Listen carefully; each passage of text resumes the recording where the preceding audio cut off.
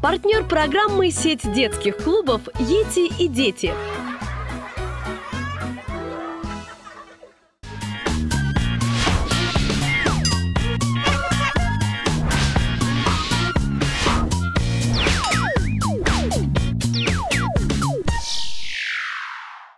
Здравствуйте, ребята! Привет! Привет! Меня зовут Света, сегодня я снова в компании Акима и Вари. Если вы еще не видели нашу передачу, то важная информация для вас. Мы с ребятами находимся в стране безопасности. Удивительное место. Здесь мы учимся правилам безопасного поведения практически в любой ситуации. А еще это конкурс. А для каждой пары он длится 4 дня. Сегодня у ребят уже третий соревновательный день. Ребята, вы с темой нашего соревнования знакомы, но я хочу озвучить ее для наших маленьких телезрителей. Это правила поведения э, при пожаре в разных местах. Мы уже говорили о том, как вести себя, если пожар случился в подъезде, в лифте.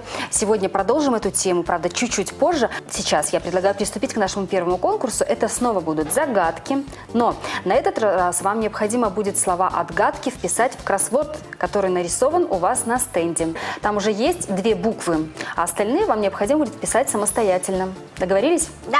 Каждый правильный ответ – две фишки. Одна фишка тому, кто справится быстрее соперника. Отправляйтесь к стендам своим, берите в руки маркер и внимательно Внимательно слушайте первую загадку. Рыжий зверь в печи сидит, он от злости ест дрова целый час, а может два, ты его рукой не тронь, искусает всю ладонь. Начали писать.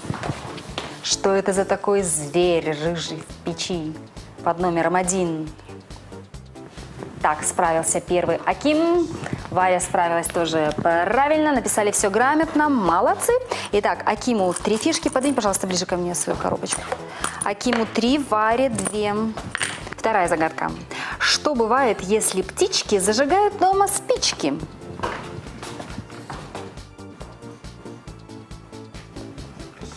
На этот раз быстрее справилась Варя. Написала слово правильно, просто на буква «Ж» мне твоя Варя совершенно не нравится. Что это за такая э, снежинка?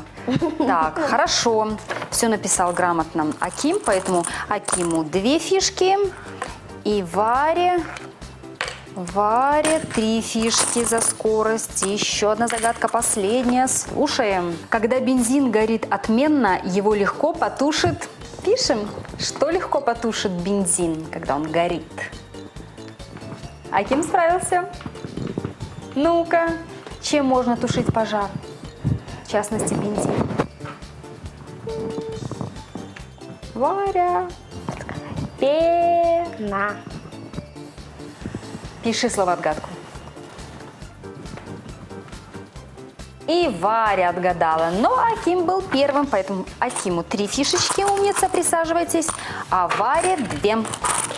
Теперь быстро сосчитайте, сколько фишек заработали в первом конкурсе. Кто быстрее? Восемь.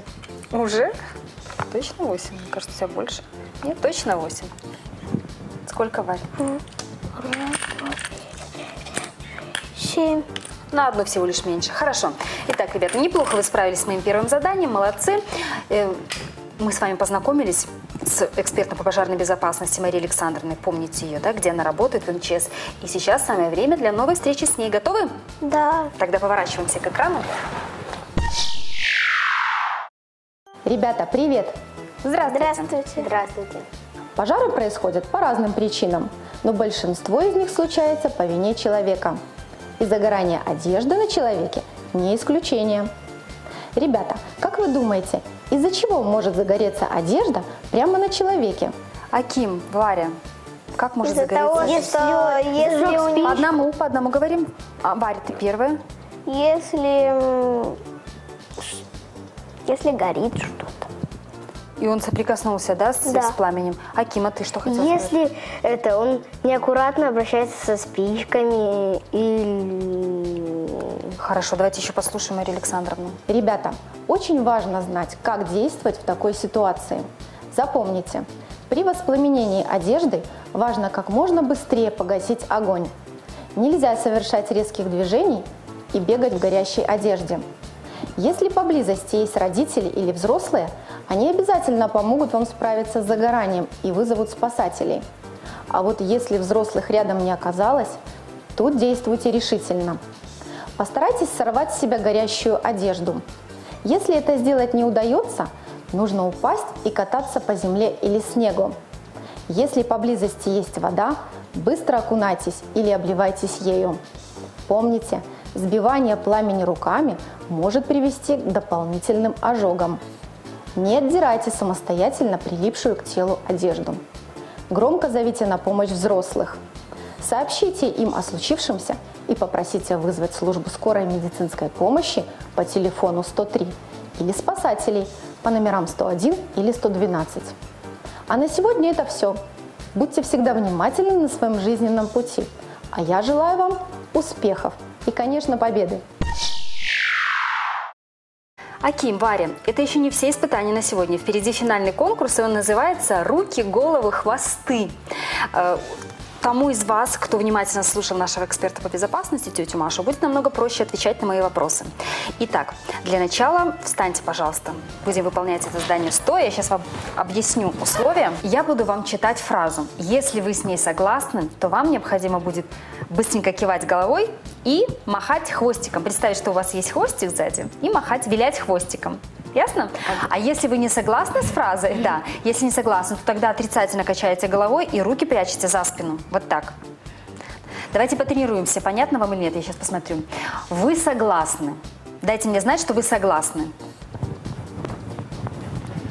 Варечка, я говорила кивать головой. Кивать, если согласны, киваем и одновременно хвостик. Не могу я так. Не можем одновременно, значит сначала киваем головой, а после этого виляем хвостиком. Варя, хорошо? Так, вы не согласны, покажите мне, не согласны вы. Варя, не слушала внимательно конкурс.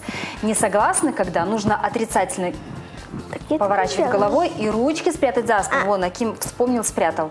Руки за спину и отрицательное качание головой. Если не можете одновременно делать, хотя это легко, руки спрятали и качаете. Все понятно? Тогда я предлагаю начать. Слушайте внимательно. Первая фраза. Если на вас загорелась одежда, то надо бегать и сильно размахивать руками. Активно машем головой. Правильный ответ. Действительно, ребята, так делать ни в коем случае нельзя, потому что так, наоборот, еще больше будет разгораться огонь. Итак, здесь у нас Правильный ответ. Две фишки, одна фишка за скорость. Аким был быстрее отреагировал, поэтому я ему кладу три фишечки и две фишки Варе. Варя, не забывай про скорость. Вторая фраза, ребята. Если поблизости есть вода, быстро окунайтесь и обливайтесь ею. Одновременно, но Акиму, Акима так красиво получается показывать, а ты, Варя, активнее. Одновременно ответили правильно, хорошо, поэтому каждому и быстро сделали. По три фишки вам вручаю. Следующую фразу уже читаю. Третье. При пожаре надо кричать и звать взрослых.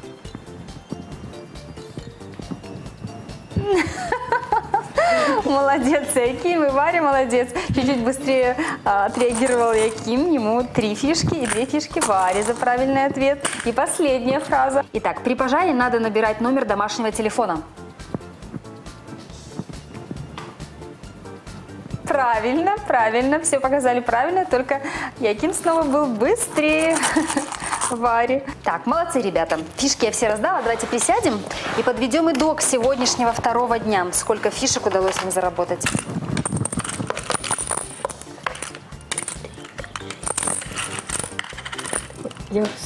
Давай еще раз. Внимательно.